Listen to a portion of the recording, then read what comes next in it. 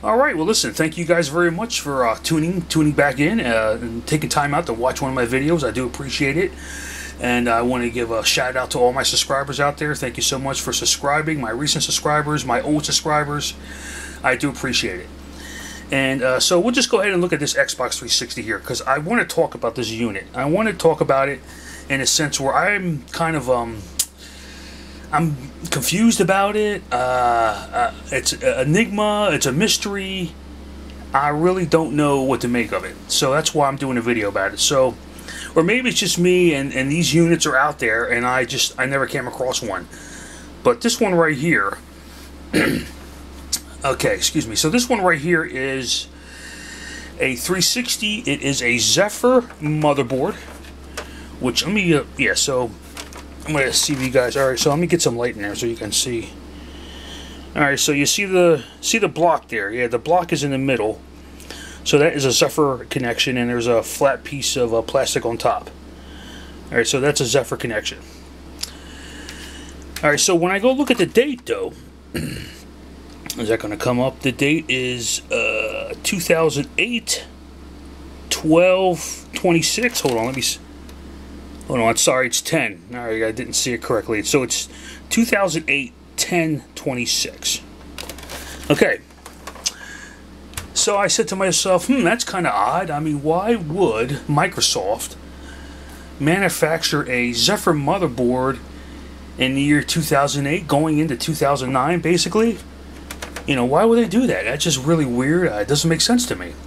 Because at that point in time, this is all retro tech now but that, and that at that point in time, they were pr producing and manufacturing Falcons and Jaspers. Uh, you know, Falcon started uh, August 2007, I believe. Uh, version 1, version 2, August 2008. Jaspers, 2008. So this is actually, this motherboard is actually Falcon Jasper territory. I mean, this uh, the date on it, I'm saying.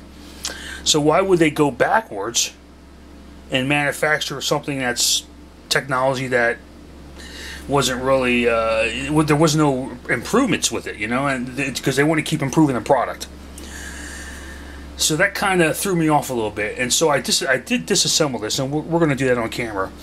All right, but first I want to plug it in because some of you guys out there may ask, well, you know what, this happens all the time where people just you know change the case on it, right? So, you know, maybe it's just a, the case is uh, it's a newer case and it's an older motherboard, you know, one of those scenarios.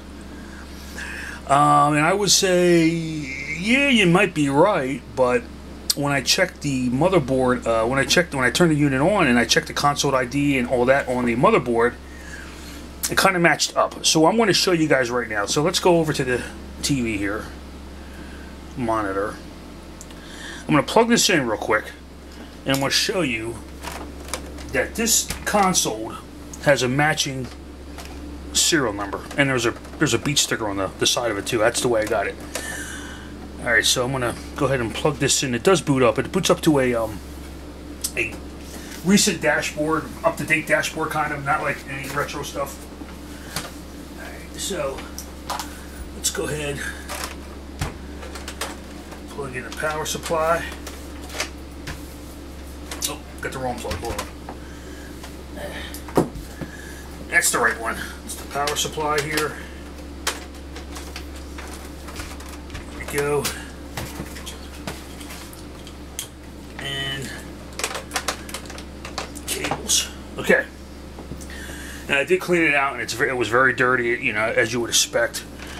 So we're going to turn it on. We, we should turn it on. Hopefully, is that the, yeah. All right, let's see. Okay, it's not coming on, but it will. Hold on. Let me just make sure it's make sure everything's connected first.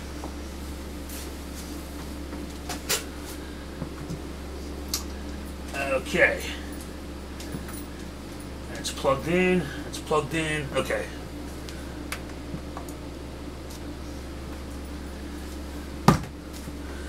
Well, ain't that a... How about that? Why is that not... Is it plugged in all the way? Can you believe this?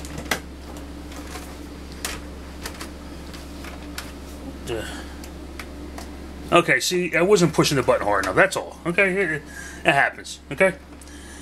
All right, so you know, here we go. So it, it comes on. And so I want to show you guys, now that it's running, I want to show you guys something here that I find interesting, you know, because I was saying, well, you know, all you got to do is just look at the the serial number, uh, ID number on the motherboard, and you know, and then you'll know what the deal is. If, if it's really a 360 that the case has been changed out or not. So we're gonna plug it in. Can you can you hear that? It's kind of re re revving up there a little bit. All right, so let's go to. Yeah, I'm gonna I'm gonna move that out of the way. Let me just go to system. Uh, let's go to console settings and system info. And so as you guys can see, I'm to move the camera a little closer. You can see if you can see that. It is the last four digits is uh, 4405, and it's making a lot of noise too. It's starting to really rev up. Uh, console serial number, last digits are 4405. You guys can see that there.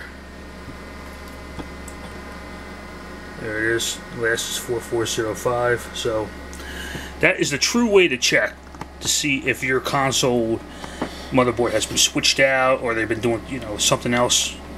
Let me adjust this camera here. Something, you know, something along those lines. Okay, so. And I did clean the disk drive, but I think there's a problem with it again. Yeah, it's stuck again. That's a common problem with the Xbox 360. The disk, the disk drives stick and I mentioned that to you before. You just take a little uh, alcohol to the rubber band inside of the disk drive, uh, DVD-ROM drive, clean that down, rub it down, and it should um, loosen up any debris or dirt uh, in that. So that's stuck again. Okay. So 4405, and so we will take a look at. I'm going to plug the. I'm to plug. Oh, it's, it's still not. And you can hear it's starting to rev up. So that's a that's a Zephyr motherboard, huh? Alright, so let's go ahead and turn that off. See, I knew I had that plugged in. right, I, I, knew I knew the uh, power supply was getting power. Okay, so let's just go ahead and before we tear it down, we'll just go back to the serial number. And so everything is legit on this machine. You guys can see that. There it is. The last four digits is 4405. So it's the correct motherboard. Yeah, this this will um, take a few few minutes to tear down. Okay, so it's it's the correct motherboard.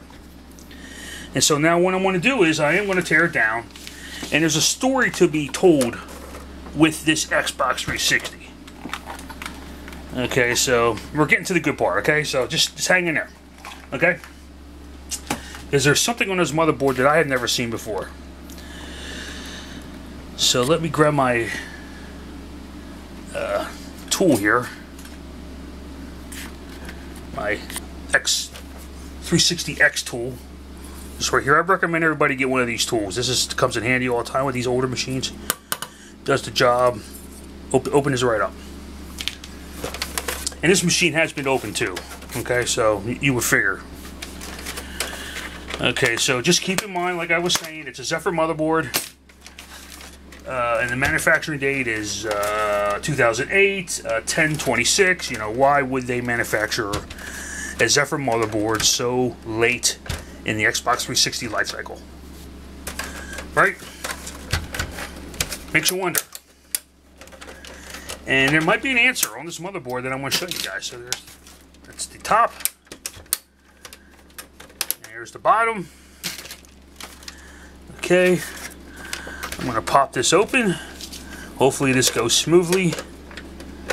Let's go ahead and pop that. And let's grab the other side here. Be careful. It does does does want to does it does want to click back in when you. And I start with the clips here, up the front, in the front. Okay, that pops open. So this is this is coming apart very easy. Okay, so you know that it's it's been opened before. When I opened it, it was really dirty, so it needed to be clean. Okay, so that's open. Let's just go ahead and make sure I don't want to damage the plastic any more than it needs, you know, needs to be or should. And pop open. Okay, there we go. So, bring the camera over here. camera down. Okay, so what is on this motherboard that I find very interesting? And I want to show you guys in just a second. Move some stuff out of the way. So have you guys, in, I mean, let me pull this up here. Okay, here's a DVD-ROM. Pull that up. Air AirTag. Okay, so have you guys encountered something like this? You see that right there? It says Dev. DEV and it has numbers uh, 02588-3 so I'm saying wait a second that's I never seen that sticker before on any motherboards. I mean I have a lot of X I have a, a lot of Xbox 360s and I've never seen this DEV on, on, on the motherboards. And so that makes me wonder Well, wait a second uh, Zephyr motherboard 2008 going into 2009 uh, and it has this sticker on it. Would that be a, a development board, so to speak? Some kind of development board that the uh, engineers were using or something, or uh, and whatnot, you know. So that's it. Yeah, that is the sticker right there, and it has a, another sticker that's a code bar or something. But there's the sticker on there. So what do you guys think about this? I mean, have you encountered uh, these units out there, the X Xbox 360 units with um, older dates on it, you know, going into, uh, you know, I, saw I'm saying going into 2008, Zephyr, I mean, it's all, you know, and like I said, in the Xbox 360 life cycle, life cycle, they were producing Falcons and uh, Jaspers. So, so that is uh, just a quick video on this system. I do think it's kind of rare, or maybe it's not rare. If you guys want to leave your comments or your suggestions on what this could be, uh, is this a development board uh, of some kind? You know, maybe that explains the later manufacturing date. You know, because there's really no, again, there's no reason to manufacture a Zephyr motherboard in 2008 later on, almost 2009, is there? You know, in retrospect, you know, and and and in the Xbox 360's lifespan, life cycle, you know, there's really no reason to measure um, manufacture that, is there? So if you guys want to leave a comment, uh, likes, I really, I really would appreciate it. And this would be the video for today. So listen, thank you so much, and uh, you guys have a good day. Take care. Bye.